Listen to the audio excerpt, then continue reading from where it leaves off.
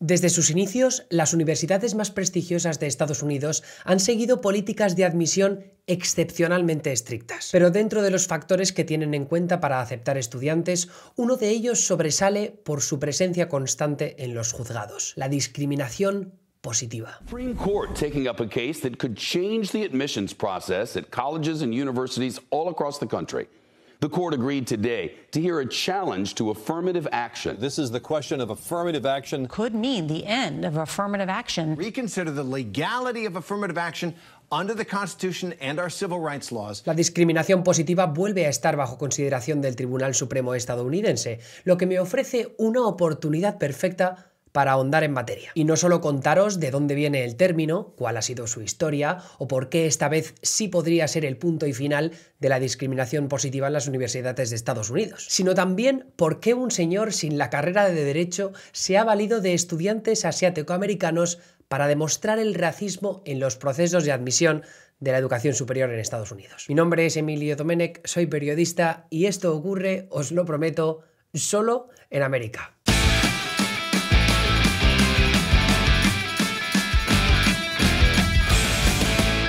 Empecemos por lo básico. ¿Qué es affirmative action o discriminación positiva? Según el diccionario inglés Oxford y en el contexto de la asignación de recursos o empleo, es la práctica o política de favorecer a las personas pertenecientes a grupos considerados desfavorecidos o sujetos a discriminación. No hace falta tener la carrera de historia para reconocer que Estados Unidos tiene un preocupante historial de discriminación contra minorías como la hispana, la asiática o especialmente la afroamericana. No solo la esclavitud estaba permitida hasta hace apenas 150 años, sino que las políticas de segregación entre negros y blancos se dilataron hasta mediados del siglo XX. A día de hoy, negros y miembros de otras minorías siguen sufriendo discriminación por culpa de las marcas que dejó ese legado en las instituciones. Pero un error común es considerar que la discriminación positiva en la actualidad, y en concreto en el contexto de la admisión en universidades, implica guardar un número determinado de pupitres para estudiantes de minorías, y por tanto dejar fuera a otros estudiantes mayoritariamente blancos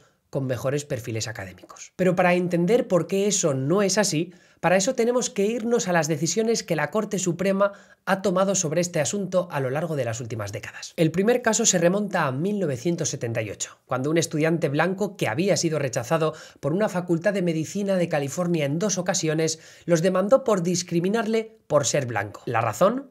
La universidad reservaba un número determinado de huecos a estudiantes de minorías desfavorecidas. 16. Es decir, establecían una cuota por la que los estudiantes de minorías competían por los 100 puestos disponibles en la clase de medicina, mientras que los blancos solo lo hacían por 84. Según la opinión de la Corte, esa política violaba la cláusula de la protección igualitaria de derechos de la decimocuarta enmienda de la Constitución estadounidense. Pero eso no mató a la discriminación positiva, pues la Corte sí permitía una política estrechamente diseñada para servir a un interés convincente. Por ejemplo, que exista diversidad en el cuerpo estudiantil, dijo la Corte, podía ser un interés convincente. Varias décadas después, el Supremo volvió a considerar casos sobre discriminación positiva que limitaron todavía más la forma en la que la raza podía ser valorada en las políticas de admisión universitarias. En el año 2003, la jueza Sandra Day O'Connor dijo que la raza debía ser considerada junto a todos los factores que puedan contribuir a la diversidad del cuerpo estudiantil y apuntó que lo ideal es que las políticas que piensen en la raza deben estar limitadas en el tiempo y que en 25 años, es decir, decir, a finales de esta misma década, desde los 2020, las políticas de discriminación positiva ya no serán necesarias para alcanzar los intereses aprobados en esa decisión de 2003. Más recientemente, en el año 2016, el juez Anthony Kennedy dijo que la consideración de la raza solo podía ser el factor de un factor de un factor. Es decir, que una universidad no puede darle más puntos a un negro que a un blanco por el hecho de ser negro, pero sí puede valorar más el hecho de que haya fundado un periódico sobre la experiencia y la cultura afroamericana en su instituto. Bien, pues todo esto del Supremo es importante porque normalmente son los jueces conservadores los más dados a posicionarse en contra de la discriminación positiva. Y jueces moderados que apoyaron la práctica en decisiones previas del Supremo, como el propio Kennedy, ya no ejercen en el tribunal. De hecho, tres de los jueces que formaban parte del Tribunal Supremo en 2016 ya no ejercen en la Corte. Antonin Scalia murió y su puesto lo ocupó el conservador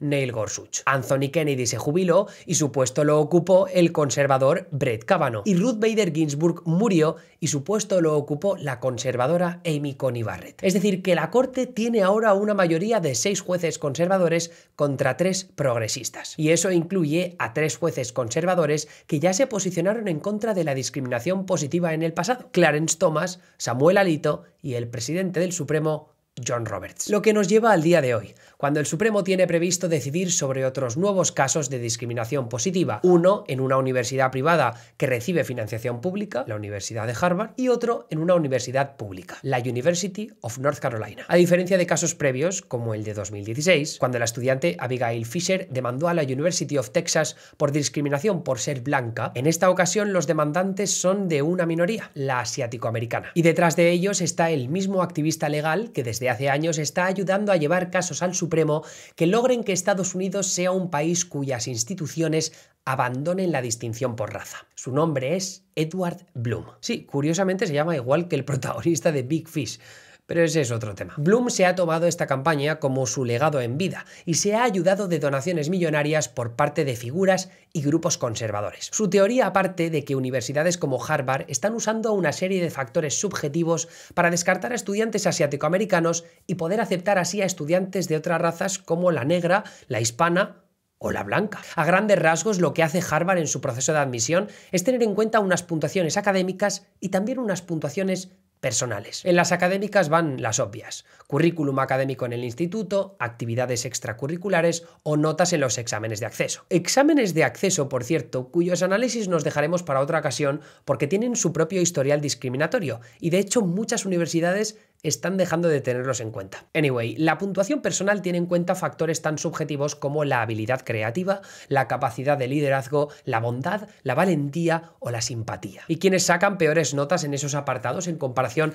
a otras razas en el proceso de admisión de Harvard? You got it, los asiático-americanos, según un análisis hecho por el equipo de Bloom después de repasar las solicitudes de acceso a Harvard de más de 160.000 estudiantes. Los asiático-americanos, en cambio, tienen currículum excelente y solo hay que ver los ejemplos de algunos de los demandantes. Michael Wang tenía notas casi perfectas y estaba en el percentil 99 de los solicitantes para entrar en Harvard. Además de eso, tocaba el piano, fundó el club de mates de su instituto, formaba parte del equipo de debate y cantó en la inauguración de Barack Obama como presidente. Aún así, lo rechazaron en Stanford y en siete de las ocho universidades de la Ivy League, salvo por una, la University of Pennsylvania. A priori, lo que quiere demostrar la demanda de Bloom es que una vez tenidos en cuenta todos los factores posibles y en igualdad de condiciones, la raza acaba jugando un papel decisivo entre quién entra y quién no entra en determinadas universidades. Y usar a los asiático-americanos es una forma de retratar la manera en la que se pueden tener en cuenta estereotipos raciales contra una minoría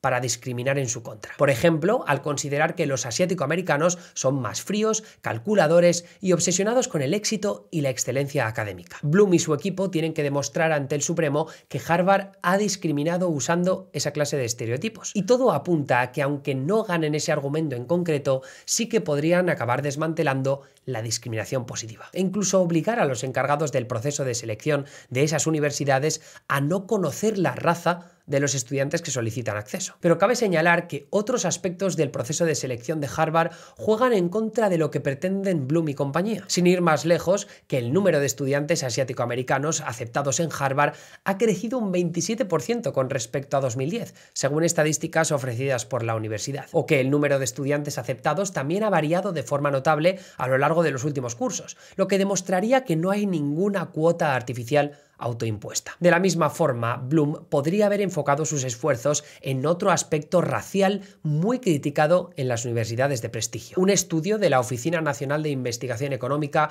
publicado en 2020, reveló que el 43% de los estudiantes blancos de Harvard entraban en las categorías de atletas, estudiantes de legado porque tienen padres que pasaron por la universidad, hijos de profesores o empleados de la universidad y estudiantes que están en la lista de interés del decano de la universidad generalmente porque sus padres han dado un huevo de pasta a la universidad. Todas esas etiquetas entran en la categoría también llamada ALDC. Bien, pues de esos estudiantes blancos de ALDC, el 75% de ellos no habría entrado si se hubieran presentado solo como estudiantes blancos sin ser ALDC. Todo esto sin olvidar que los estudiantes asiático-americanos forman un porcentaje mucho mayor del cuerpo estudiantil de las universidades de prestigio en comparación a lo que representan como parte total de la población estadounidense. Igualmente importante es señalar que los asiático-americanos son habitualmente percibidos como un solo grupo, cuando en realidad proceden de orígenes muy diversos de todo Asia, y no siempre de países con las mismas oportunidades económicas. También remarcable es el hecho de que no fuera hasta pasada la primera mitad del siglo XX que se empezara a admitir inmigrantes asiáticos en mayores números en Estados Unidos, como puede apreciarse en esta gráfica, o que aquellos que han ido viniendo tuvieran o tengan estudios universitarios, lo que a su vez ha facilitado que sus hijos, los de segunda generación, también accedan a la universidad. Lo cual establece una diferencia importante entre los asiático-americanos y los hispanos, con orígenes mucho más humildes en Latinoamérica, o los negros, históricamente adscritos a la discriminación racial tan extendida en Estados Unidos. Esa movilidad social ayuda a explicar la presencia tan destacada de los asiático-americanos en las universidades de prestigio de Estados Unidos, más que los estereotipos vertidos contra ellos. Y hablando de estereotipos, encuestas recientes muestran que entre los asiático-americanos existe un apoyo superior al 70% a las políticas de discriminación positiva. Incluso una mayoría de los chinoamericanos, más conservadores que la media, apoya en la práctica. Todos estos factores no significan ni mucho menos que la discriminación positiva sea el mejor camino a seguir para alcanzar la igualdad racial en un país con tantas desigualdades, pero sí ilustran algunos de los conceptos más malinterpretados del debate en un momento determinante para el futuro de estas políticas en lugares como Harvard. Todavía quedan unos meses para saber qué decide el Supremo, así que dejemos para entonces cuál ha sido el legado de la discriminación positiva y qué pueden hacer instituciones como Harvard en el futuro para que sus aulas tengan diversidad. Y hasta aquí esta entrega de Solo en América. Mi nombre es Emilio Domenech, nos vemos la semana que viene aquí, en neutral.es. Hasta luego.